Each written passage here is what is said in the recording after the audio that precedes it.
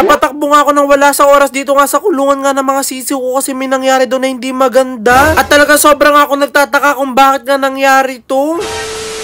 Dis oras na nga ng gabi pero bigla ako napababa nga dito sa bahay para nga pumunta nga sa kulungan nga ng mga sisiw ko. Pinacheck ko nga kasi mga sisiw ko nga kanina dito sa mga kasama ko nga sa bahay tapos sabi nga daw nila na may nangyari daw na hindi maganda dun sa isa naming sisiw. Kaya talaga sobrang ako napatakbo nga dito sa kulungan na talagang nagulat nga ako nung pagbukas ko nga ng kulungan. Sobrang ako nagulat at talaga sobra din ako nalungkot nung nakita ko nga yung sisiw nga na favorite na favorite ko pa naman yung kulay. Namatay yung isang sisiw.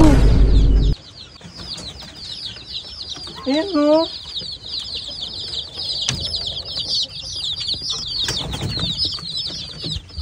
Namatay. At mag-rewind nga lang tayo ng saglit. Ito nga yung kinaumagahan nga at pinacheck ko nga nung umaga nga sa kasama ko nga ito nga kulungan nga ng mga sisiw ko. Sinabi nga ng kasama ko na meron nga daw siyang nakita na isang sisiw na matamlay nga daw. Kaya nga talagang buong hapon nga namin tinignan nga tong sisiw nga na to kung ano nga ba yung sakit niya. Kaso nung kinagabihan nga talaga nawala na nga siya. Kasi siguro ba kaya sila namatay? Dahil masyado silang nalalamigan. Ayan no, kasi nga itong kulungan nila medyo bukas nga ng konti kasi tignan nyo oh, may mga butas dito kaya talagang nakakapasok yung mga hangin kaya siguro nilamig tong sisiw natin. Ayan no. Ah, wala na siya. Kailangan natin kunin na yung isang sisiw. Paano natin? Kailangan din natin siyang ilibing. Kailangan natin maghanap ng box.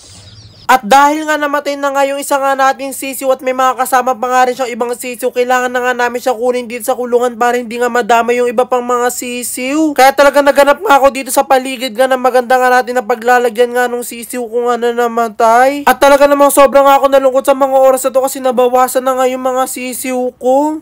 So lalagay na natin dito yung sisiw.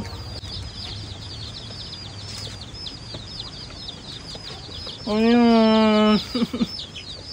Wala na siya.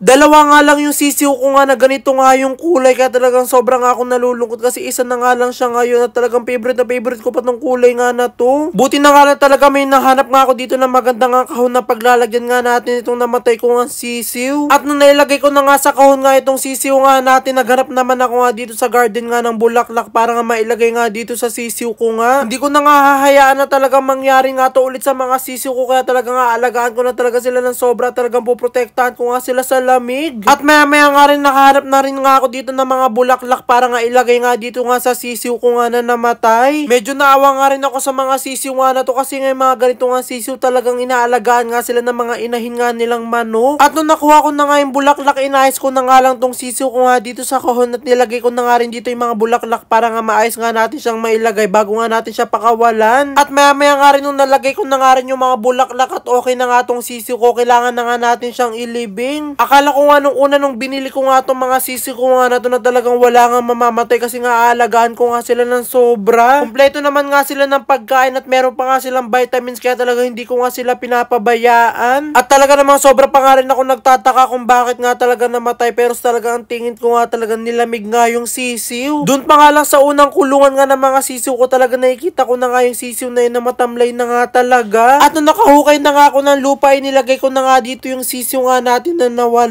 Sobrang nakakalungkot nga itong pangyayari na to pero ito na nga yung tanda na talagang kailangan ko talagang alagaan nga itong mga sisiw ko para nga hindi nga sila lamigin kasi pag pala nilamig sila talagang namamatay talaga sila. Pagkatapos na nga natin malagay nga yung sisiw nga sa ilalim nga ng lupa tinabunan ko na nga rin siya. Ang wish ko na nga lang sa mga oras na to na wag na nga masundan nga tong sisiw ko nga na namatay. At maya maya nga rin matapos na nga natin mailibing nga itong aking sisiw nga na namatay agad-agad na nga rin ako nag-iisip sa mga oras na to kung paano nga natin mapoprotektahan nga yung mga iba pang sisiw. So kailangan natin gumawa ngayon ng paraan para hindi na nga mamatay yung mga sisiw natin kasi ang hula nga natin dyan parang namatay nga yun sa lamig nga. Ayan nandun pa sa unang kulungan na nilagay natin talaga nangihina na yung sisiw nga na yon kaya talaga nagtataka kami kanina akala lang namin pagod nga yung sisiw yung pala mamamatay na pala siya kaya ngayon gagawa tayo ng paraan para hindi na nga lamigin yung mga sisiw natin na talagang hindi na nga sila mamatay ayan so tara ayan, so tatakpan na natin ngayon itong mga butas nga na to yung makikita nyo may mga butas yan. Diyan kasi lumulusot nga yung lamig. Ayan, kaya talagang namamatay nga yung mga sisiw nga natin. Kaya lalagyan natin siya ng mga sako. Para hindi talaga sila ano, mamatay. Tapos yung ilaw nila, iinitan pa natin para talagang hindi sila lamigin.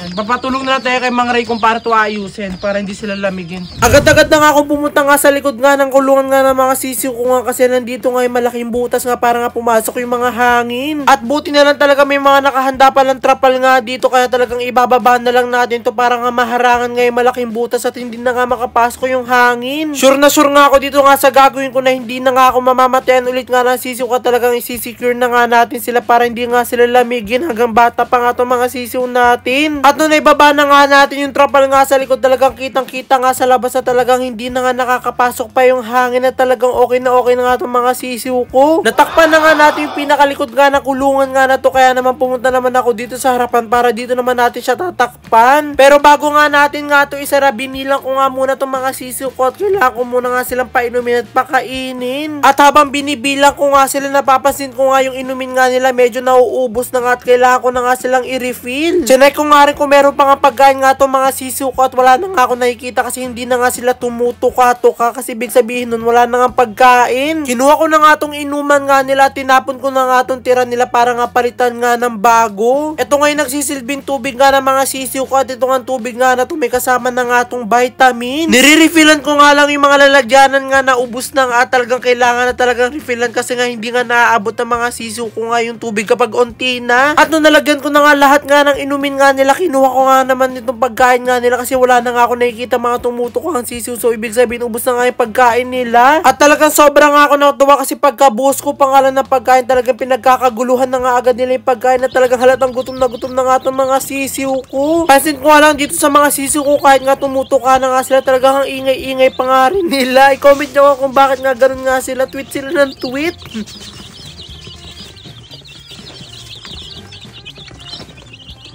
At maya maya nga rin natapos na nga ako sa pagpapakain nga dito sa mga sisiw ko kaya kailangan ko na nga silang saran kasi gagawin pa nga namin ng paraan para nga hindi nga sila mapasukan ng hangin dito sa unahan nga nila. Sa ako na nga lang itatapal nga namin dito sa unahan para nga mas madali nga namin mabuksan kapag nga papakainin namin o kaya i-check namin itong mga sisiw namin. Kahit nga natakpan na nga natin yung mga sisiw nga natin ng sako talaga nakikita pa rin nga sila dito sa reflection nga dito sa sako kasi manipis nga lang sako na nilagay ko. Pati magtatanong nga po ako sa inyo kung ilang days nga natin sila kailangan nga hindi sila malamigan. Para nga makapagpagawa na nga ako na mas maganda pa nga nilang kulungan kasi nga hindi sila magkakasya nga dito kapag nga nagsilakihan nga sila. Babay mga sisiw, di na kayo, may, di na kayo malalamigan dyan kasi talagang sagrado sagrado na yung kulungan nyo. Sana bukas pagkagising ko wala nang mamatay na sisiw. Nalulungkot talaga ako tuloy ngayong gabi. Ang lungkot ko. Kasi may namatay na isang sisiw. Sana hindi na masundan kasi gusto ko talaga silang lahat makita na lumaki. Ay, sige na. Bye-bye.